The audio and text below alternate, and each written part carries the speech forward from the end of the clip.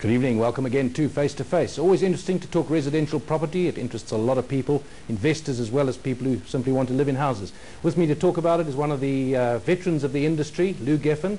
He is chairman of Sotheby's International Realty South Africa to talk about the local market. Hi, Lew. Hello, David. So you talk in your statement that you put out, uh, and obviously it's a time that you think it's time for a view on the property market. You talk about an early recovery, and what strikes me, property perhaps, or residential property more than most, if it crashes as hard as ours did, then you are going to have an oversupply of houses and the prices must come down to a point where people can start getting back. But it's happened a bit earlier than we thought. Well, I'm not so sure it's happened a bit earlier than we thought. You know, probably the cycles seem to move in three-year cycles. It's been three years since the market first had its uh, uh, signs of change downwards. Uh, we're nearing the end of that cycle, and basically the the last year, the the the, the 209 the 209 year was a good year in property in terms of volumes. Uh, in our group, volumes increased by 46% on the previous year, which were down by 50%. So we're only a couple of percent off where we were in the boom in terms of volume, not in terms of price. Mm. Let's look at uh, some of the reasons for it. You've talked about excess stock in certain capacity, uh, certain categories. Yeah. It seems uh, that would be logical for most categories, uh, that you'd have a bit of surplus of Yeah, well, I don't know if there's a surplus. Uh, you know, I must, I must preface this by saying that our company uh, is, a, is a niche company and our average sale price is 2 million. So when I say that we've increased by 46%, it doesn't reflect on everybody and every price so in that range, in the 2 million price range, that, that is a fact.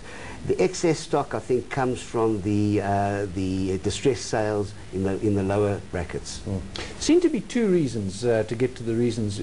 People feeling financially strapped, whereas there was that optimism in the 80s, growth, uh, mm. the, the, the mid-2000s, mm. where growth going, and mm. people saying, you know, there's not going to be a, a, a boom and bust, this is going to boom forever, and people get very confident and perhaps reckless. Uh, so that's one reason why it's been difficult. The other is perhaps just don't want to take on risk.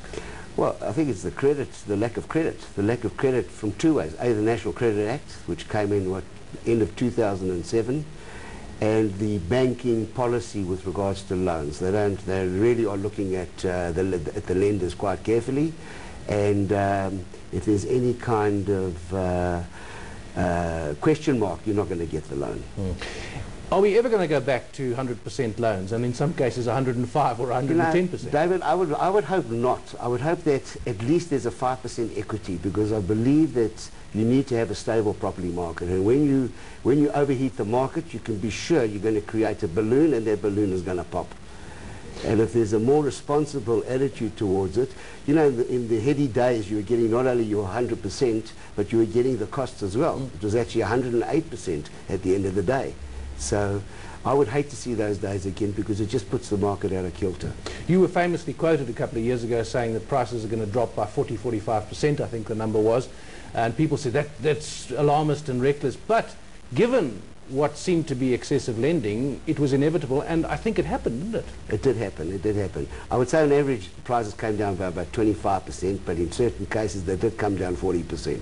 Depends on how the people bought. If they bought badly, you'd get a 40% result. What about all that fashion for buying second houses, holiday homes as an investment, not necessarily mm. just for holiday? Mm. Has that all been cleared out by the market? Oh, that's been cleared out completely. Uh, uh, that market will come back again when it's de facto that the market has stabilized and that the banks have relaxed their lending policies.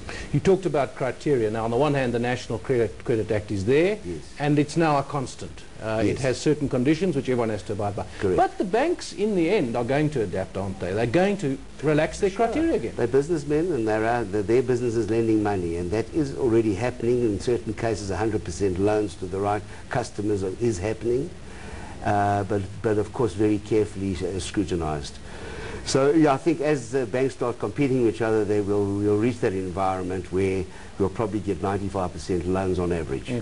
I told the story about the bank manager that I spoke to. who said in the old days he was rewarded out in the branch for managing risk. In mm. other words, not having bad bad loans. Mm. And in 2005-6, the same man said he was rewarded for gaining market share. What is the attitude in the banks now? I think very much to the latter. I think that they are rewarded for for uh, for for risk. Um, Back to aversion, where it was, in other risk words. aversion, yeah. What about that de- devolution of power, then the centralization of power? And another comment on the lending was that if the manager sits opposite you and knows you and makes a call on whether you can pay the debt, a lot of it was centralized. A lot of loans were granted to people that actually perhaps didn't even have to go to an interview. Absolutely.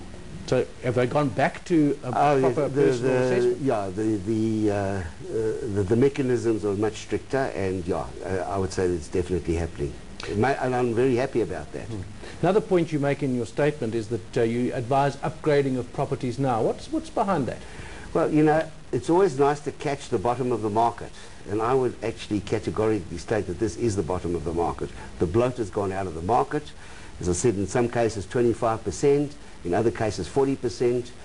Uh,